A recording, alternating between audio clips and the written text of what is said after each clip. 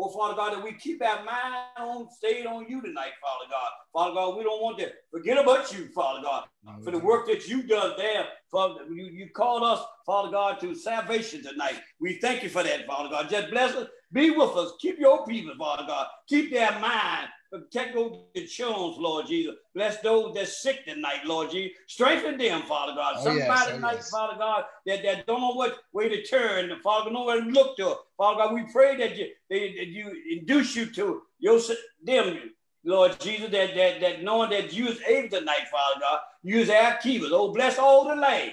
Bless this nation. Father God, pray for peace tonight, Father God. In your yes, name, yes. Jesus, we pray. Amen.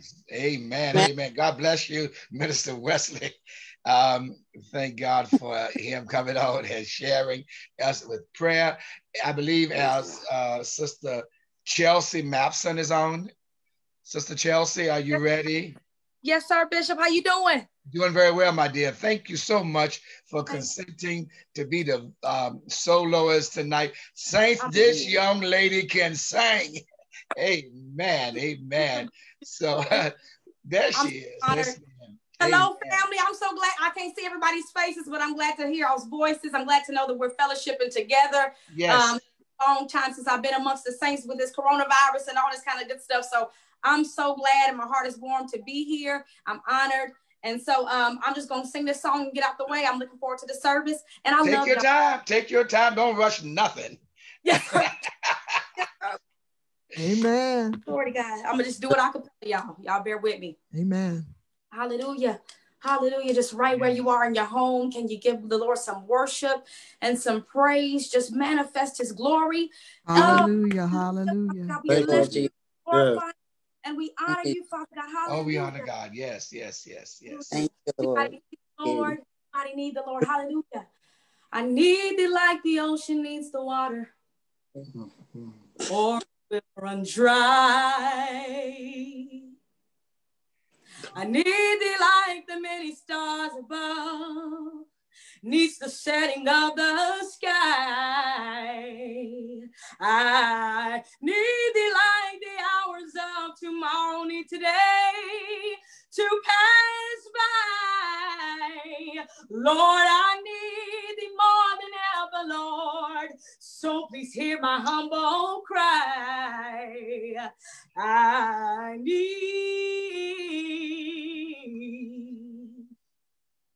thee, oh, I need thee. Says so. Hey, every hour. Lord, I need thee. Oh, Bless me, bless me. Now, my Savior. I come. I come to Lord, I come to thee. I need thee in the morning when from evening's rest I wake. Yes, Lord. I need you to direct my path with every step I take. I need you, Lord, to keep me. I need your mercy and your grace. Lord, I need thee more Lord, for your promise never to forsake. Lord, I need, I need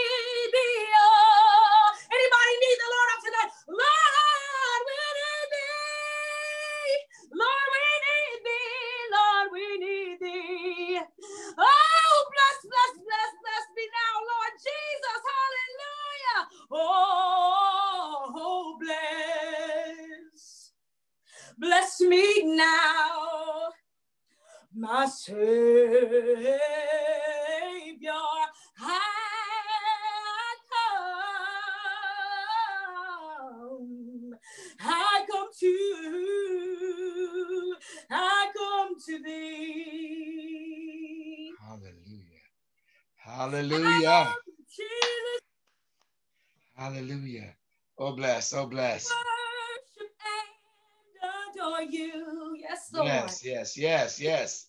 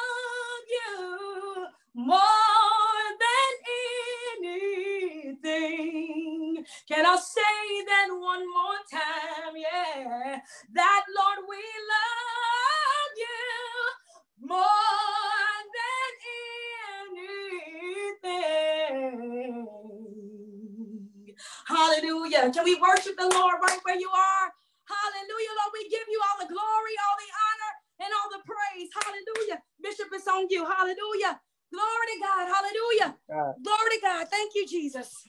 Uh, Hallelujah. sister, Glory. hallelujah, hallelujah. Oh, we thank God for Sister Chelsea. I just want to take a moment and uh, thank again, thank God for Sister Chelsea. But just to connect the dots, Sister Chelsea, do you mind telling the saints who your parents are? I don't mind, Apostle. My parents are um, Bishop uh, Simon Peter Mapson and elect Lady Laverne Mapson. Those are my parents. Amen. I just wanted to do that because um, uh, the saints here know Bishop Peter Mapson and uh, and, and and most of them know your mother. And last night there was her aunt that was singing. Um, that was her father's um, sister that sung for us last night. So that was her aunt Julia. So thank you, thank you, thank you so much. For having Um, me. Oh yes, And I, I Love trust you. All right, I thought you would stay with us if you can. Yes, sir. We, we love you. Um, tonight we are so blessed, and I said it earlier. I just want to reiterate: we are so blessed to have with us the Bishop Michael Smith of Baltimore, Maryland. He's the pastor of New Bethel House of Prayer. Um, excuse me. On last evening, uh, our preacher I also sung. Now I don't know whether Bishop Smith is going to sing. I don't know whether Bishop Smith is going to sing or not, but um, actually, we're going to give you now. And Bishop, let me just say this before you get started. The time is unlimited. Do what God gave you to do. We don't have any time restraints. So whatever God has given you, uh, we're going to ask you to do that. Saints, just get with him and just enjoy the Lord with him. At this time, we give you give to you and uh, introduce to some, present to others, the Bishop Michael Smith, Baltimore, Maryland. Praise the Lord, Bishop. Praise the Lord, Church. We are glad uh, to be with you all this evening um, for this feast of, uh, or during the Feast of Tabernacles. we honor the Lord tonight for his goodness, his kindness, his mercy. We thank him for who he is, what he's done, and all that he continues to do. Um, again, we thank God for your fine pastor, Apostle James Ragland. We thank God for uh, First Lady Ragland, Jane Ragland, and uh, to the Cobham ministers who have joined us on the call, as well as to the uh, members, saints, and friends. It is a blessing to be uh, with you all. We're going to jump right into the text uh, on tonight. We trust that you'll be blessed. Please uh, pray for us and with us as we delve into the Word of God on tonight. Um, this, this evening's pericope will be coming from John chapter 7, uh, in particular verses 1 and 2, uh, with, with uh, extra emphasis on not being long at all tonight. We just want to share a few things uh, that God has given to us to lift from the text on this evening. John chapter 7, uh, verses 1 and 2, beginning, um, yes, at verse 1, of course, and uh, reading from the King James Version of Scripture on tonight. Verse 1 says, After these things, Jesus walked in Galilee, for he would not walk in Jewry, because the Jews sought to kill him. Now, verse 2, now the Jews' feast of tabernacles was uh, at hand. John chapter 7, verses 1 and 2. Heavenly Father, in Jesus' name, we come to you as humbly as we know how, once again, asking that you would bless this time, bless this hour, bless this moment, bless this minute that we have together, every second, Lord Jesus, Father. We have come to know, God, that if we're doing and attempting anything without you, God, it is uh, pointless, Father. And so we bless you tonight. We ask that you would sit Michael down and you stand up, Holy Spirit, and do what only you can do. Touch the hearts and minds of your people, God, listeners everywhere, Father. In the name of Jesus, God, we thank you. And we're encouraged tonight, God, because you had other options, but you chose us, and we bless you for that, God. Father, we thank you for knowing that the word never goes out and comes back without, accompli- without accomplishing that which you have sent it to do. In Jesus' name, we thank you and we pray and we bless you in advance for what you've already done, which will be manifested in our lives beginning tonight. In Jesus' name, amen. So as we prepare uh, church to delve into the scriptures, we see um, in verse one, again, I want to read it again. After these things, Jesus walked in Galilee, for he would not walk in Jewry. And as the Bible lets us know here also, uh, because the Jews sought to kill him. Verse two, now the feast, the Jews' feast of tabernacles was at hand. As we look at the text on tonight, we see uh, John is summarizing uh, if you will, events that occurred uh, during the six month period from around about April up until October. And Jesus uh, pretty much has already in John chapter six, he's already fed the 5,000, if you will. And he's done it with the five barley loaves as well as with the, uh, the two fish. And what he shows us in the text as we move forward uh, towards our pericope for tonight is that he can break limitations. Somebody ought to thank him tonight for breaking limitations. Uh, we see that, that Jesus blesses it and he distributes it. And so that means that little becomes much when we place it in the master's hand. Y'all don't y'all bear with me as I make my own self happy, preach my own self happy tonight. God is good.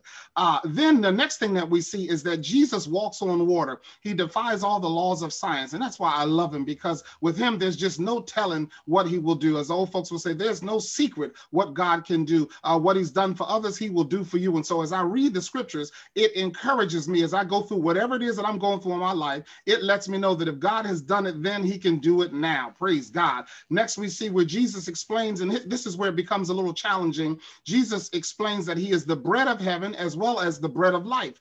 Uh, Jesus is the way, he's the truth, he's the life. He lets them know that, yes, while you might marvel at the manna that I allowed to be fed uh, during Moses' time, I rained down from heaven, he says, that's nothing compared to if you eat of me and if you drink of me. Now, uh, you got to come to understand that, that uh, as we're reading uh, after the fact and we're Monday, Monday night quarterbacking, if you will, uh, for those of us, if your pastor's much as you love him, starts talking about if you eat of me and drink of me, or eat my flesh and drink my blood, I'm sure most of you want to leave that church. I would not be mad at you, praise the Lord, because that's some strange talk right there. And so Jesus is testing the disciples to see and testing the followers to see, you know, you know, who really is there because of what he's doing versus who really is there because they're trying to get an understanding. And by the way, tonight, I, I love the word. The, the Bible says this in all of our getting to get an understanding. People come to church for a lot of things. And I'm convinced that one of the reasons why God allowed or permitted COVID 19 to come to places to check us spiritually. I have found that uh, there are a lot of people who go to church and they're in love with the church, but they're not in love with God. Uh, because last time I checked, we are the body of Christ. And so if I'm in Walmart, the church is in Walmart. If I'm in my car, the church is in my car. If I'm at work, the church is where I am at work. Talk to me, somebody, where there are two or three that are gathered together. Because what happens if we cannot get to those four walls? God wants us to remember that you are the church. And watch this greater is he that is in me than he that is in the world. That's what the text says to us tonight. And so as we plow and we push forward, as the curtain begins to lift just a little bit, we see here Jesus is rejected by his own. The disciples have walked away from Christ because they don't understand his message, what he just said. And so uh, the followers, if you want, so several of the disciples do stay. And he says, pretty much, he asked them, Are you going to go also? And then there's one who responds and says, No, Lord, we're not going to go. You, you know the way, you are the way. And so we thank him for, for that. And so the curtain begins to lift on John chapter 7. And this is where it begins to get really good. We see three things that happen in the text, which I'm not going to preach tonight. I think I'm going to preach on Wednesday, but I want to just share it with you to help you to delve into the text further.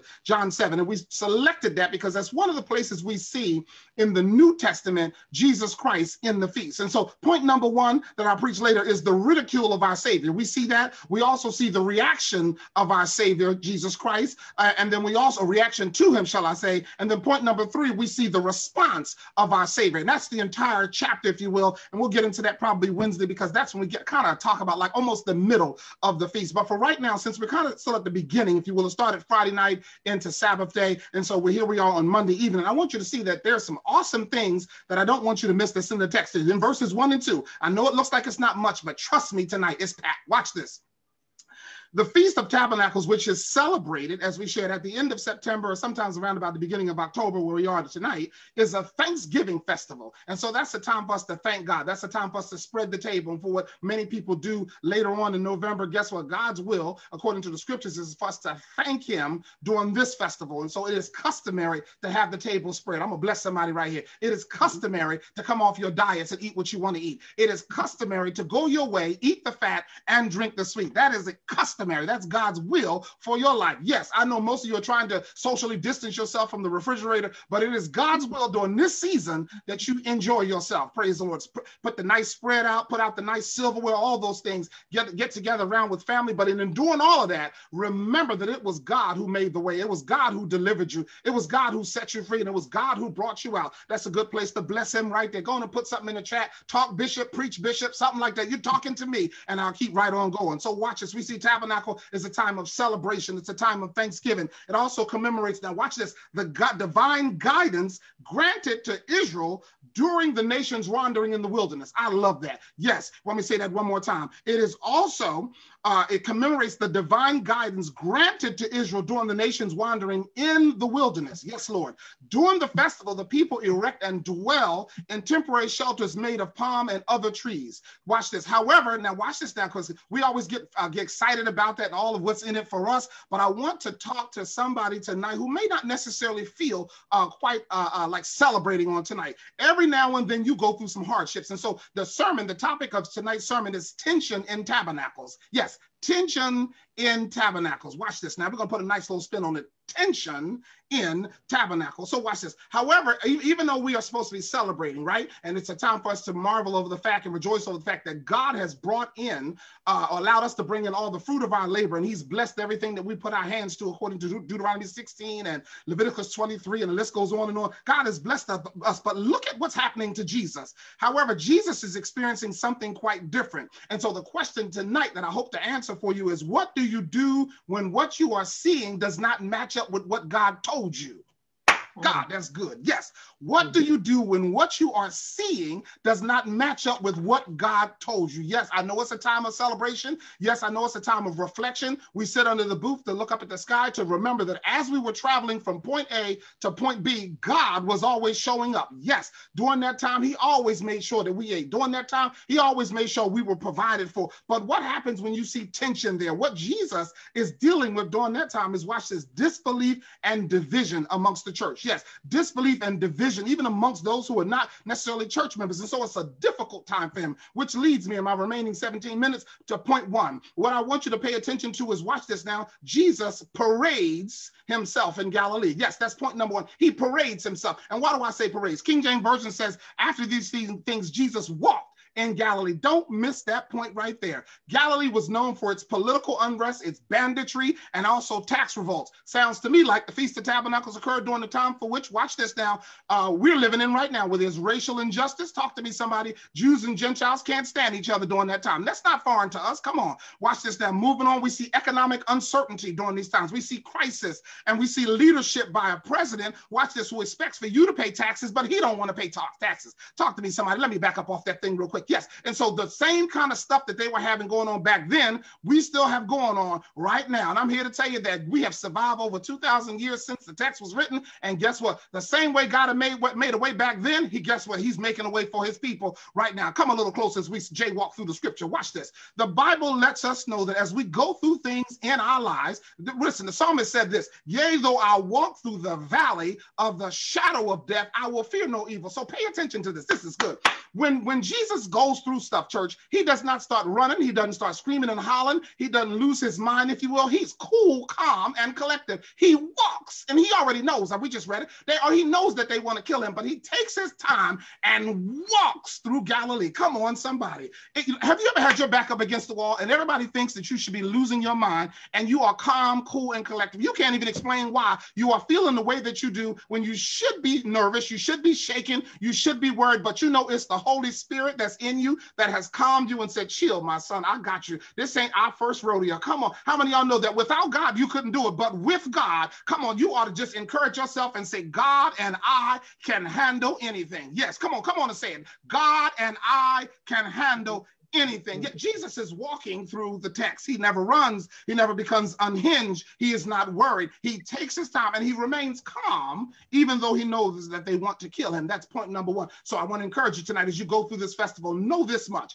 God's desire is for you to walk because he's the one who allows you to walk in the valley of the shadow. It teaches us some things. God, that's good. Just like he did the children of Israel when this feast was, feast was being birthed. It was him who ordained for them to go the route that they went because Jesus was working with them. He knew what was in their heart. He knew what many of them would do. They would turn and go back home because the, the route that the, the shortest route, if you will, was for them to go past the Philistine garrisons Philistine post and uh, also the Egyptian post. And God knows, as soon as they saw that, some of them were going to be fearful and take their behinds right back to, to slavery. Watch this now. But it's God's will that we understand up front what He wants us to do is to rest in Him. Talk to me, somebody. Yes, watch. Just not keep the Sabbath, but I'm talking about truly rest in Him every day where we trust God enough to know He's going to make a way. So, point number one, we, He just parades Himself in Galilee. I want you to do that. You might be having trouble at home, you might be having trouble at work, but every now and then you just got to come and let them know it's not bothering me. Praise the Lord. The God that I serve, I don't know what he's up to, but he's whipping up something. Come on, talk to me. Somebody, he got something in that kitchen that's getting ready to come out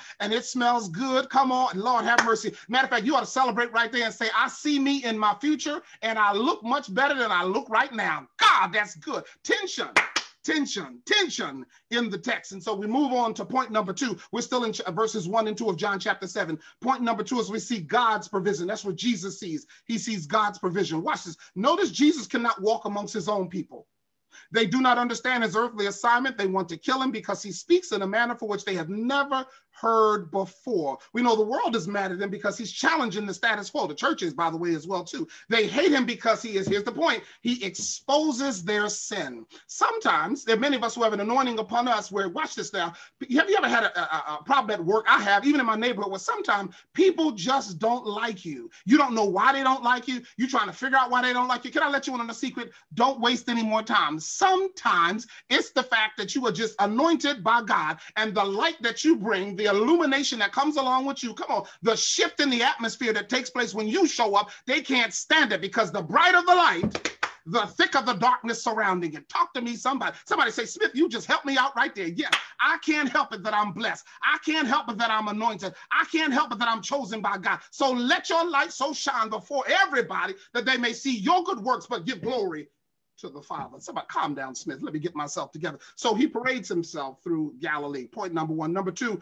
provision. We see Jesus is always making a way for his people. And I know just like Jesus, somebody's on this Zoom call tonight. Uh, uh, watch this now. And you're going through tough times in your life. Your job may be on the line because of COVID 19. Uh, homeschooling is very challenging. We need to pray for our brothers and sisters in Christ. The elections are coming and you're confused. You don't know who to vote for. I know, I know it's got to be frustrating. And there's tension during tabernacles. Yes, I already know that if you vote for the Democrats, somebody's going to say that you're voting for the LGBT community. Somebody else is going to say that you're voting for abortion. If you vote for the Republicans, somebody's going to say, sure enough, God don't stand for racism. Come on. So I can tell you're confused, but come on, somebody. I believe with all my heart that if we pray, what, what did he say in Second Chronicles 7 and 14? If my people who are called by, calm down, Smith, Lord have mercy, this is good. All right. He walks, right? And then after he walks, we see provision that's there for God's people. I got news for you. Your blessing during this season, watch this now, is going to come from unfamiliar places. That's good. I got to hurry up and run. It's going to come from unfamiliar places. What do you mean by that, Smith? Notice how God has to hide Jesus amongst the Gentiles.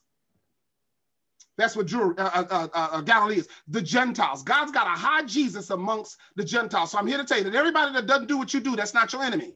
Everybody that doesn't understand what you're doing, that's not your enemy. Watch it. Let me let me let me give you some scriptures so you don't think I made this up. We see that the Lord sent a raven, to, a filthy, stinking, unclean bird, a raven to ravens plural to feed Elijah. We also see that. Watch this in Acts chapter 10 when the Lord was dealing with Peter and Cornelius. God sent a Gentile. Come on, somebody. He was a praying man, but he was a Gentile. And watch this. You just never know who your blessing may be, whose hand it may be, and who God's going to use. So I'm telling you, during this season, don't turn your nose up at nobody because just like Jesus had to hide amongst the Gentiles, you don't know who you're going to have to hide amongst. Talk to me, somebody. All I know is whatever God got for me, I want it. Talk to me, somebody. He's going to come in some unconventional ways. Expect for him to do that. The Lord will provide during this feast. So Jesus parades himself through Galilee. We see divine provision. Are you with me? And watch this. Look what the King David says. We try to sum this thing up. He said, I have never seen God, that's good. Can I unpack that, y'all? He said, I have never. I looked up never in the dictionary. That thing blessed me. Here's what never means. He says, at no time in the past or future,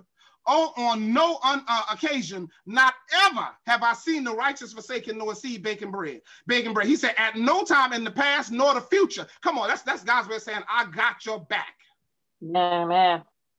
So while I know we're celebrating at home, and I know we're celebrating during this pandemic, if you will, or pestilence, as the Bible would refer to it as. Look at, let me leave you with this. Look at what Exodus chapter 8 and verse 22 says. It says, But on that day I will deal differently with the land of Goshen, where my people live. No swarms or flies will be there, so that you will know that I, the Lord, am in the land. God, that's good. That's God's way of saying, watch this now. I, I wish I had time to deal with this.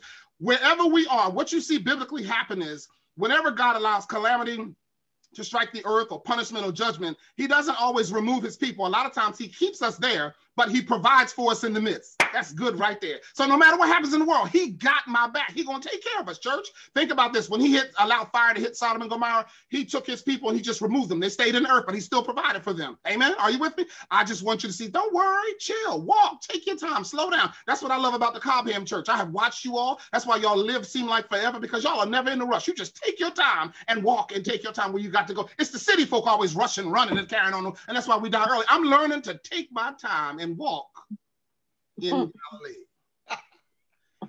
see God's provision. Last but not least, who was it? Uh, Tye Tribbett, the songwriter, said this: "If He did it before, He can do it again. Same God right now, same God back then. If He did it before, He can do it again. Same God right now, same God back then." And point number three: Jesus receives God's protection. The Jews sought to kill him, but Jesus knew this: if God is for me, then who can be?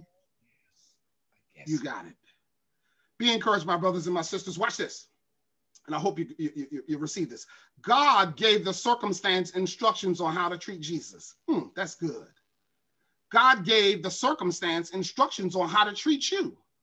Think about that. Nothing can happen to you except God allows. What you don't always know is what kind of conversations God is having up in the heavenlies about you. And I'm confident that there are times which He is just flat out bragging on you, my brother, my sister. Do me a favor, don't disappoint them. Go through, complete the process. Go through because God is with you. It's not sent to kill you, but it's sent to make you stronger. They sought to, to kill Jesus, but notice this they could not kill him. And all that I got from just verses one and two of the text. My friend, you may be experiencing some tension during tabernacles, but rest assured, God's going to protect you. If you feel like you are losing everything, remember trees lose their leaves every year and they still stand tall and wait for better days to come. Yes, Lord. Watch this. We have to be like trees, as the Bible said in Psalm 1, planted by the rivers, uh, rivers of water which cannot be moved. In other words, what the Lord is saying, bend, but don't break. Come on, just bounce back Praise the Lord right there. You got to stop thinking you'll be stuck in your situation forever. We feel like our heart will never heal, or we feel like we'll never get out of this impossible struggle. But guess what? Do not confuse a season for a lifetime. Tabernacles is about this thing being temporary. Come on, somebody, and rejoice right there. And so, as I prepare to close, Lord have mercy, this has been good in terms of my time being spent with you all. I want to close with this short story. The early American Indians had a unique practice of training young braves. On the night of a boy's 13th birthday, after learning hunting, scouting, and fishing skills, he was put to one final test. He was placed in a dense forest to spend the entire night alone. Until then, he had never been away from the security of the family and the tribe. But on this night, he was blindfolded and taken several miles away. When he took off the blindfold, he was in the middle of a thick woods and he was terrified. Every time a twig snapped, he visualized a, a, wild animal ready to pounce. After what seemed like an eternity, dawn broke and the first rays of sunlight entered the interior of the forest. Looking around, the boy saw flowers, trees, and the outline of the path. Then, to his utter astonishment, he beheld the figure of a man standing just a few feet away, armed with a bow and arrow. It was his father. He had been there all night long. so, my brother, my sister, as you experience tension in tabernacles, no, you're not alone. Your father is standing right there. God bless you. God bless you. Amen. Amen. Amen. We thank God for Bishop Smith. Bishop, you did not disappoint any of us. Amen. And for those that had never met you, we have um, people here in Cobham that don't know who you are. I know now they just anticipated when this thing is over, surely can we get this man to Cobham? We, we, we've known him ever since he was a teenager, and we thank God for him. And we, we honor the God in him, how God has brought him and has God has taken him through different things and placed him where he is tonight. Amen. We said, thank you, thank you, thank you. Um, what we're going to do is this time, we're going to bring Bishop back. That he will have the, um, well, just before we do that, Sister Brenda would give us a rundown. We made an, um, an addition to the weekend. We were going to end Thursday night, and now we're going to do, uh, end it actually Friday night. So Sister Brenda will give us a rundown as to who is on each night. Uh, I remember when uh, Deacon Preston had looked at the lineup, he said, Boy, we got a good lineup. And we thank God, yes, we have. And we have not been disappointed at all. So, Saints, we're going to ask you to be, be with us every night. Sister Brenda, you ready? Oh, sorry. Yes, I am. Um, the Lord's will tomorrow night is Apostle Stephen L. Best. And our soloist is St. Ruby Phillips. Our minister for prayers, Minister Esther Allen on Thursday, uh, no, sorry, Wednesday night is Bishop Quincy Slaughter. And our soloist is St. Tamara, Knox. And our prayer leader is Deacon Kenny Allen. On Thursday night, our speaker is Bishop Jerry Carter. Our soloist is uh, Brother Jaden Arnold. And our prayer leader is Deacon Walter Preston. On Friday night, uh, our speaker is Evangelist Carly Taylor. And our soloist is Brother Tyler Hamner. And our prayer leader is Deacon Rodney Ragler.